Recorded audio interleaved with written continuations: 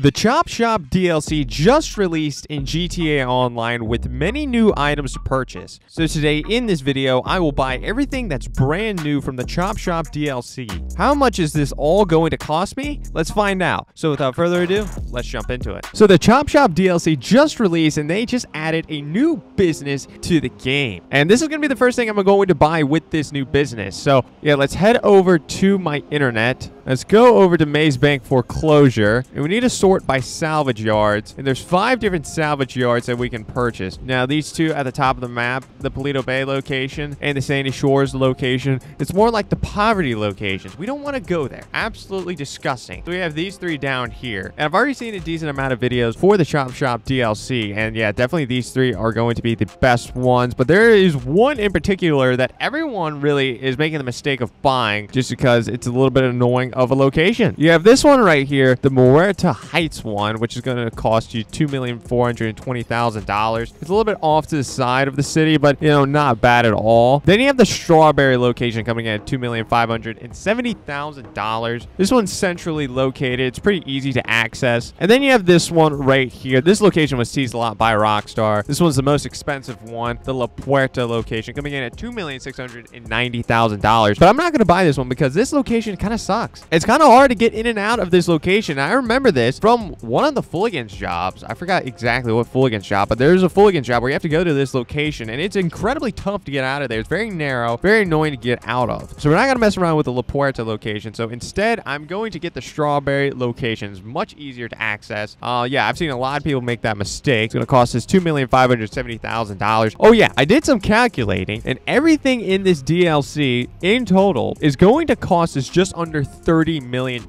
if you want to buy every single thing right now. And that includes the three Pegasus vehicles with their trade prices. And that also includes this Strawberry location instead of the La Puerta location. It's still going to cost us just under $30 million.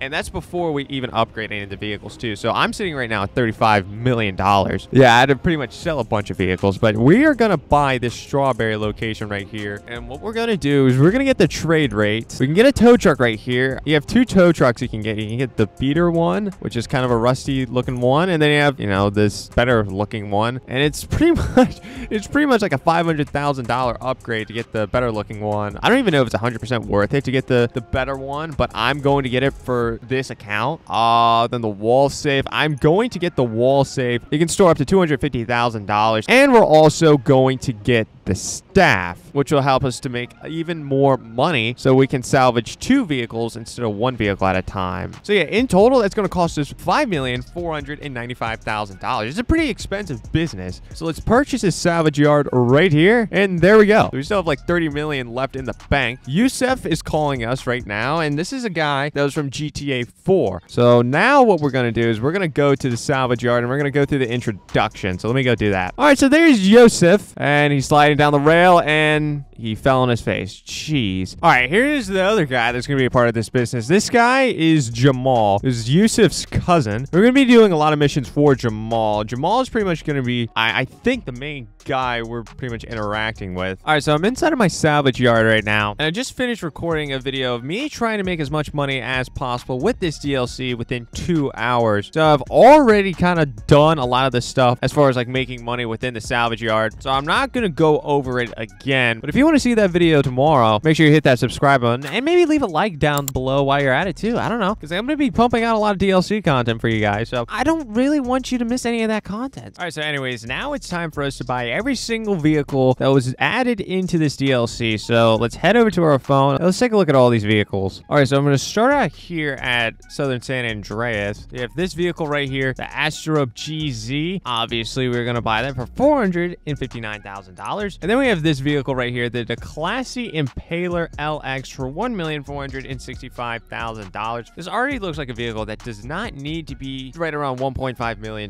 This, this vehicle looks like it's garbage. I won't, I won't judge yet. I will not judge yet. Maybe this car is sneaky fast.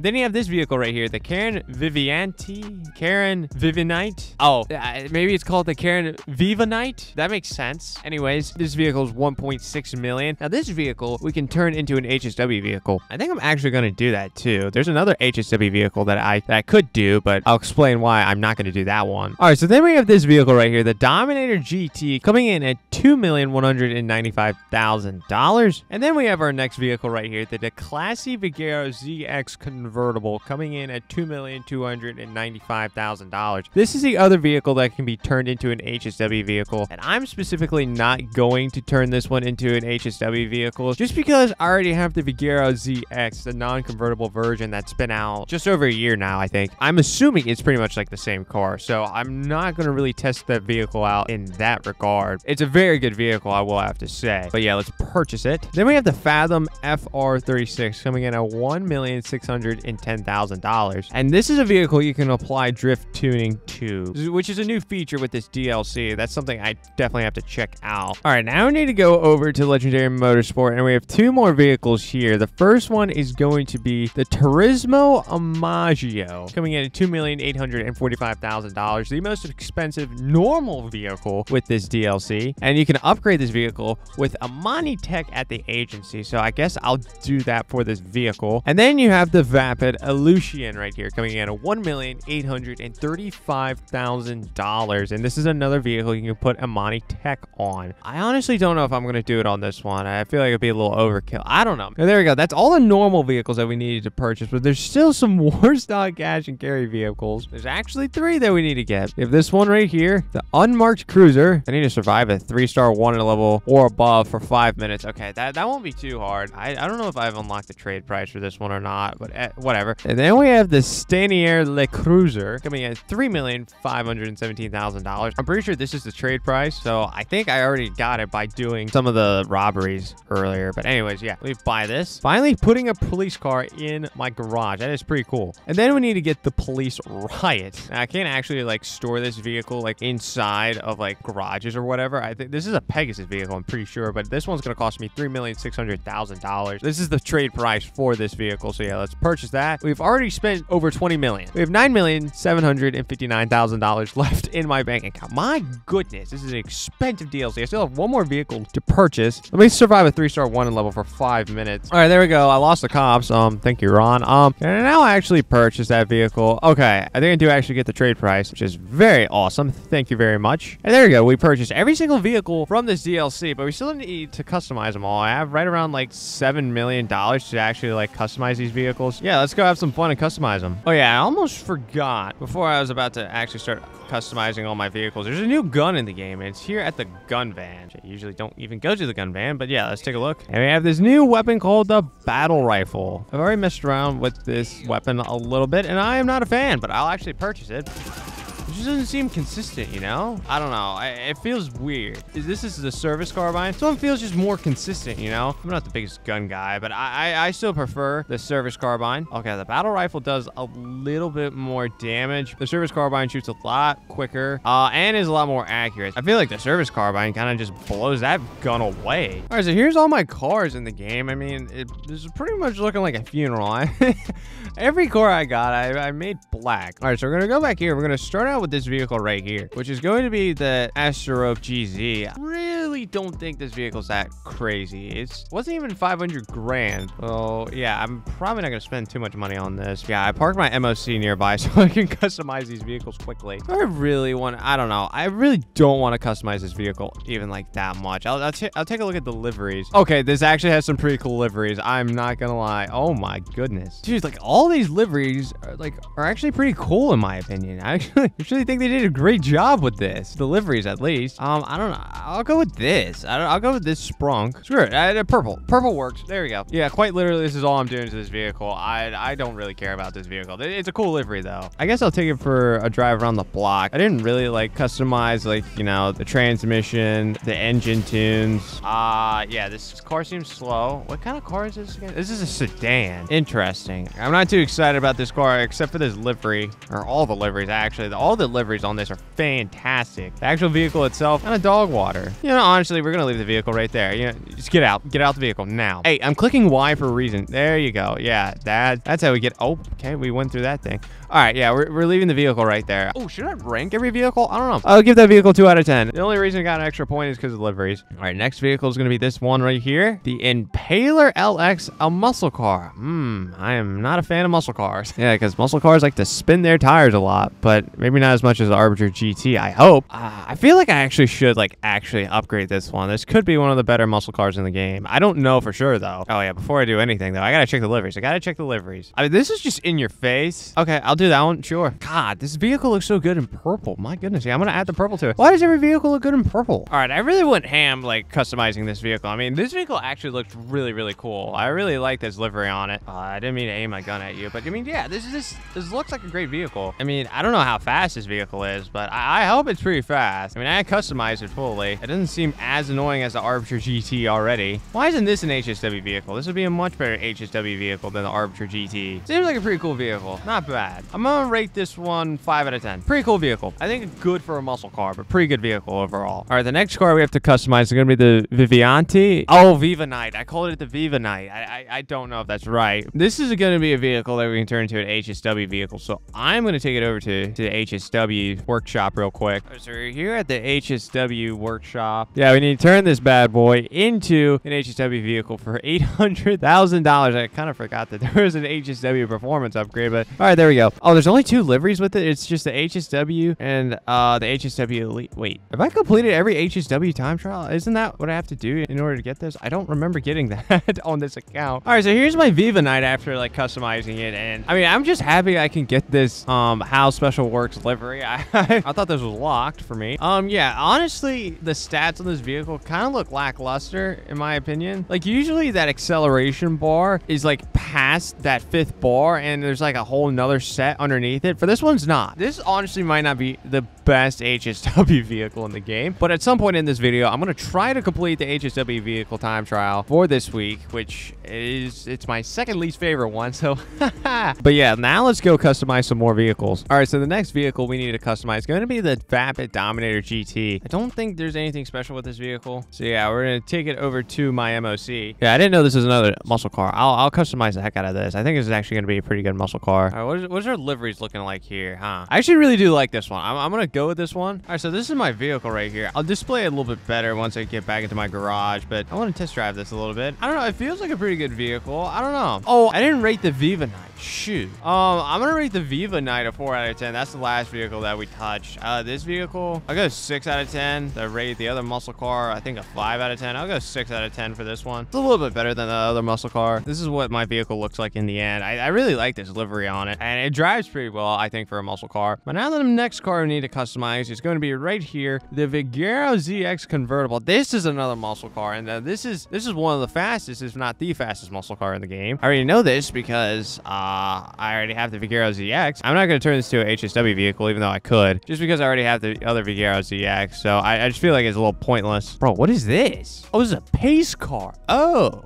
I'll go with a pace car look. Sure, I'll, I'll do I'll do a pace car. All right, I, I think this vehicle might be the second best vehicle, or at least the second fastest vehicle with this DLC. Oh my god, just looking at the stats customizing this thing, even without the HSW mods, my goodness, this thing is quick. I'm a fan of this vehicle. I'm going to rate this. Yeah, I'll go 8 out of 10. 8 out of 10 for this vehicle. Oh, yeah. This is what it looks like right here. I put the put the pace car look on it. And now we have the Fathom FR36 right here. And this is going to be a very different vehicle for us just because we can actually make this vehicle a drift vehicle. So I actually need to take this vehicle all the way to HSW Mod Shop again. All right, so here at the HSW Mod Shop, drift tuning. So we have to pay $200,000 to make this a drift vehicle, I guess. All right, and there we go. This vehicle is now a drift vehicle. Oh, this is an ad for Annis. I thought that, for some reason, I thought that said Rolex in the beginning. I, I don't know. You know, I'll, I'll get it just because I thought of that. And it kind of looks cool, too, I will have to say. All right, it's a little dark, but this is kind of what my vehicle looks like after customizing it. I kind of went over the top with this one just because I know tomorrow I'm going to make a video of the drift racing. Like, how crazy is this drifting? I, I feel like I have no traction at all.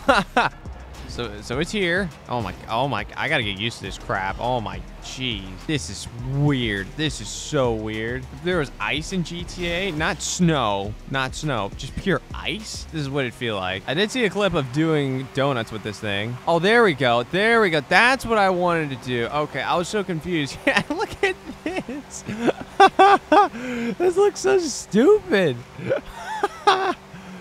My goodness. Okay, okay, okay. That's enough. That's enough. That's enough. All right, all right, yeah, yeah. All right, here's one more look at the FR36. I think it looks like a pretty cool vehicle, but we're gonna we're gonna mess around with that vehicle a little bit more tomorrow. All right, so now let's get into the Turismo Omaggio right here. Now this vehicle can be turned into an Imani Tech vehicle, and that's exactly what we're gonna do with this vehicle. Which luckily we're not too far away from my agency, so we can do that pretty quick. First things first, we're gonna put Imani Tech on it. We'll put a missile lock-on jammer on this, sure. Uh now livery. How how are the liveries looking today? Oh, this is the this is the Rockstar Games one. Oh, right. This was like another thing that we had back in like November that we had to do that I definitely didn't participate in, but I still get credit for it. Thank you, Rockstar community. I'll take a free livery. Um, yeah, sure. I'll, I'll brand you for today, but I'm putting Dr. Crush Orange on it. Yeah, and you're gonna like it. That's how my vehicle's gonna look. Let me just put some more stuff on it. All right. So once again, this is what the vehicle looks like. I actually think this vehicle looks really good. As a Monty Tech, no one can blow me up, but no one can blow me up anyways when I'm in an invite-only session. Haha, jokes on them. Um, yeah, it feels like a pretty quick vehicle. Should this get a 10 out of 10? I don't know. I'm gonna go 9 out of 10. And that's just me being a little cautious just because I don't know how fast this is compared to like other like supercars and whatnot. But I do know, I do know you can put a missile lock-on jammer on this, which is pretty cool. And you can make this an RC vehicle if you want, which that's even more fun in my opinion. All right, the next vehicle we have is going to be the Illusion right here. This is another Imani Tech vehicle. Um, honestly, I'm not gonna make this an Imani Tech vehicle. The, the liveries might be the worst ones on here, to be honest. Screw it. I, will be American today. I mean, I am an American, but I'll be American today and put on the American flag. yeah, I guess let me customize the rest of this vehicle real quick. Yeah, I just really see no point in me upgrading this vehicle to the max. I mean, we put the we put the American flag livery on it. I mean, that's good enough. Come on. Other than this vehicle being an Imani Tech vehicle, nothing really special with this vehicle. Not fast. I did say you could put like slick mines and proximity mines, I think, or something. Yeah, but with the upgrades you can put on it, I'll, I'll put this as like a 6 out of 10. I think that's fair. All right, so now we need to upgrade the Stanier Le Cruiser. It's going to be the cop car. It's an emergency vehicle. Okay. All right, let's see. Let's see what we can do with this, huh? What? I don't know. I, I do the Paleto Bay. Screw it, you know? Okay, I think this one works. I actually think that actually worked. The anodized blue pearl. Okay. this is what my vehicle looks like. This is what my police cruiser looks like. Pull over. Oh, I'm so sorry. I didn't mean to run into the back of you. I'm so sorry. Pull over. Pull over. Yeah, that's right. Yeah, that's right. Hey, oh, oh, you want to run? Yeah, that's right. You stop right there. Hey, hey, hey, hey, you're running, you're running, you're running. You're no, no, no, no runners. Oh shoot, the cops are on me now. Uh, you know, I, I, I'm gonna, I'm gonna go back inside of my garage and pretend like none of this ever happened. Uh, but this is kind of fun. I actually really like that this is in the game, but I'm gonna rate this seven out of ten. You know, I don't know like the practicality behind this though, to be honest. I think that's what's keeping it behind. Here's one more look at the Stanier Le Cruiser right here. And now we have the unmarked cruiser right here, which I'm very interested to see what this is going to look like. So yeah, let's customize this thing. Okay, we don't have any liveries, but that makes sense though. That makes a lot of sense. Should I just make this orange? Just kind of be like, ha ha ha ha. I'm, I'm going to go with my orange. Um, yeah, I don't think there's really that much else to do with this. So, I mean, I'll quickly customize the rest of this vehicle. All right, so here we go. Here is my, um, what's this, the arm, yeah, the unmarked cruiser. I don't know. Uh, let me pull someone over. Pull over. Pull over. Yeah, that's right. That's right. Yeah, you've you've done something. You've done something. Get out of the car. Get out of the car. Oh, you want to fight a cop, huh? Huh? Huh? What's up? What's up? If you can't do the time, don't do the crime. That's what I'm saying. Man, he thought this was just a normal orange vehicle like this red car. I mean, this this red car has done some nasty things. I mean, like, pull over. Yeah, yeah, yeah, yeah. He just thinks this is a normal orange car. Oh, you're trying to run? That what you're trying to do? Here, you know what? You're free to go. You're free to go. You're free to go. You're fine. You're fine. Uh, sorry. Wrong person. Psych! Come on, how did you fall for that? Like, come on. But yeah, I'm gonna rate this one a six out of ten. Uh, not a lot of customization going with this.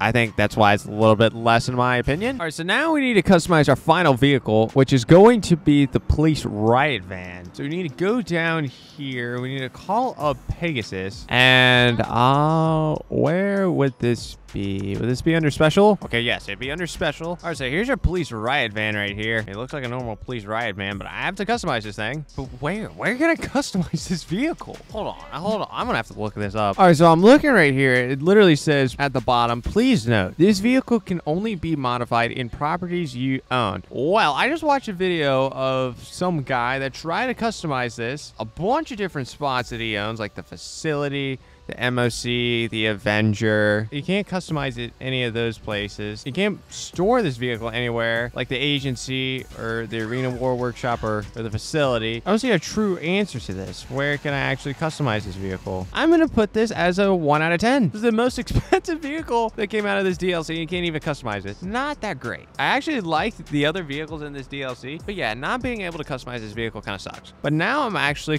going to try and do the HSW time trial trial for this week, and I have no idea how that's going to go. So wish me luck. All right, so I called in my Viva Night with my HSW livery on it, and it is time for us to try to do the HSW time trial with this vehicle. This is my second least favorite HSW time trial, Pacific Bluffs. I'm not a fan of this one. And looking at the stats of this vehicle, I don't think it's a great vehicle, but let's just see how it goes. Uh, I'm going to give myself five attempts. If I cannot complete it in five attempts, then I'm blaming it on the vehicle. With a normal HSW vehicle, a good good HSW vehicle, I should be able to complete this within five attempts. But we're going to start this time trial right now. Attempt number one. This vehicle is very, very quiet, the, v the Viva Night. It doesn't sound like an electric vehicle, though. It just seems very quiet. I will have to say that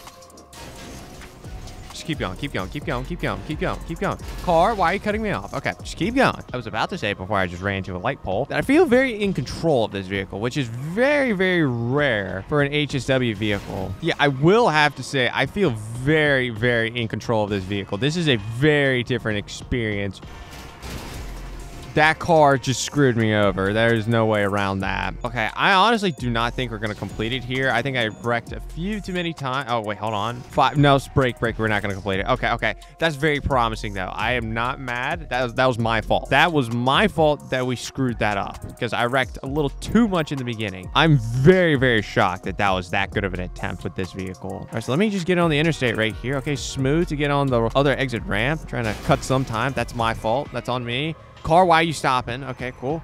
Okay, not bad. I, I don't think that's that bad. All right, so all I have to do is just cross this bridge, and I think we should be good to go. Oh, my God. Oh, my. We're going to crush this. The Viva Night. The Viva Night. I am shocked. I thought this thing wasn't going to do that well. This thing did great. I'm, I'm to, if I did rank it earlier, I'm going to adjust my ranking. I'm to put 8 out of 10. I'm to make it an 8 out of 10. That was probably my best HSW time trial experience with this specific time trial. But I'm to be uploading more videos on this DLC, so subscribe and turn on post notifications to make sure you're notified of all new things with this DLC, along with you being notified of when my Loser to Luxury series comes out. Make sure you check out this video right here if you want to see just how bad the San Andreas Mercenary DLC was in GTA Online.